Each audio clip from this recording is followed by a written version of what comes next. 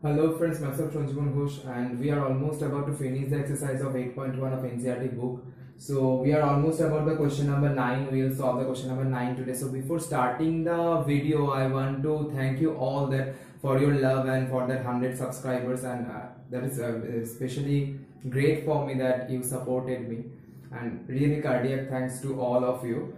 So we are starting the video. So what is the question? The question is given in the triangle ABC, right angle at B. If the value of the tan A is 1 by root 3, then we have to find out the value of two things. One, one first one is sine A into cos C plus cos A into sine C and the second one is cos A into cos C minus sine A into sine C. So first of all, I want to clarify you that uh, whenever we will be on the next exercise, whenever we will uh, that are very comfortable with the values of the standard angle of any all the six trigonometric ratios then the sums will be too much comfortable for us. But now we have to draw the right angle triangle and have to do in a lengthy process. So i am doing like that. So what is the question? It is given it is right angle at b. So first of all i am drawing a right angle triangle here this one.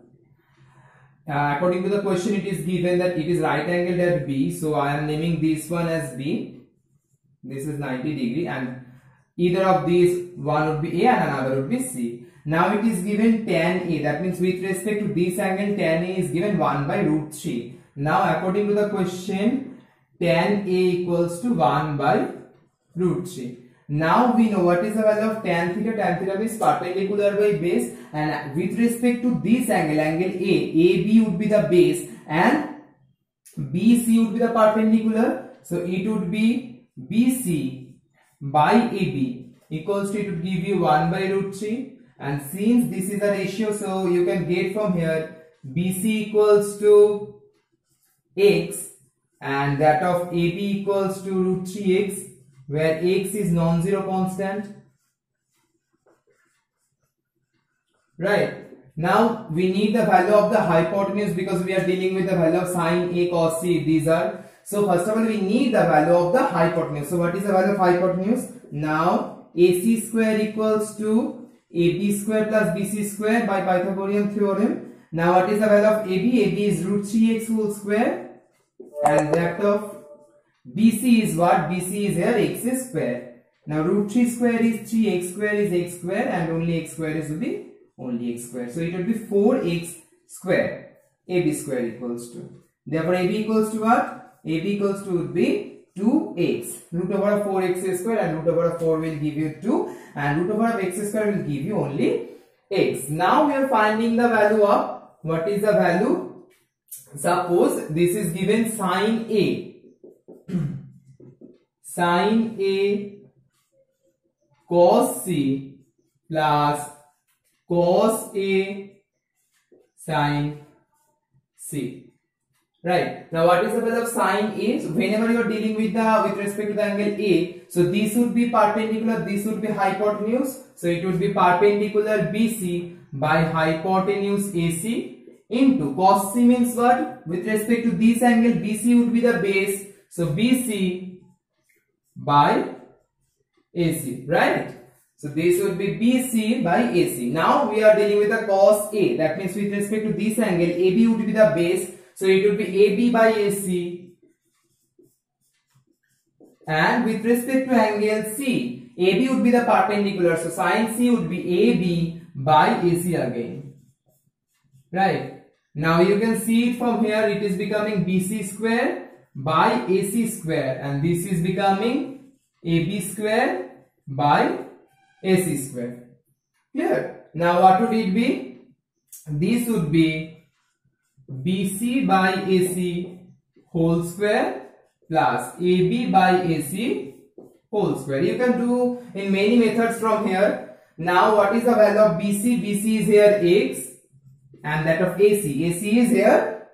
Uh, this one, uh, sorry, it would be AC. I have mistakenly written here AB. It would be AC because it was AC.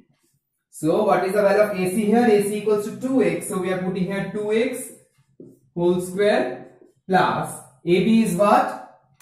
AB equals to root 3x and that of AC is what? AC is 2x. So we are putting here 2x.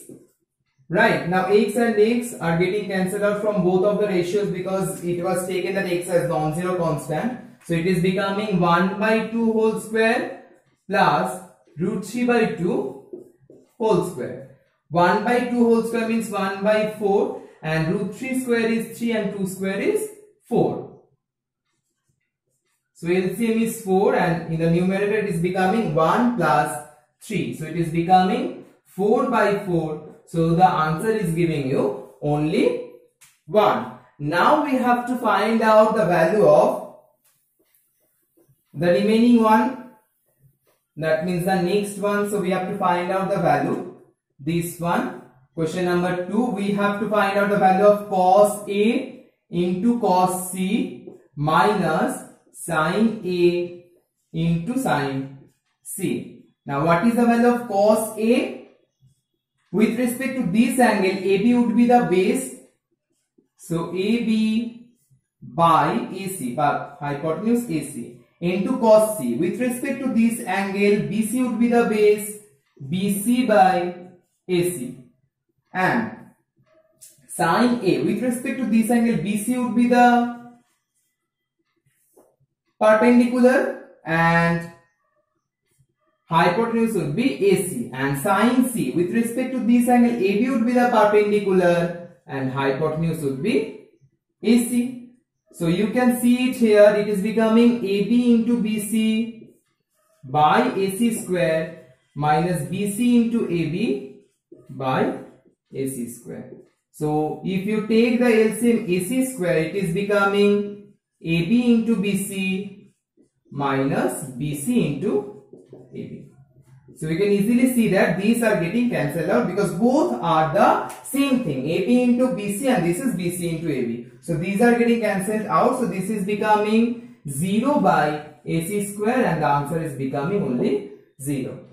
After this line you can proceed in any method. You can put up the values of AB, BC and AC also or you can do in this method. That is totally your choice. I am doing in this method. You can also, also put out the values of this one. Uh, so it was the all video and uh, I'm very sorry for this was mistake so it was AC I mistakenly write this one AB at the very first moment and thank you friends for watching this video and again cardiac uh, thank you to all the 100 subscribers please support me and subscribe my channel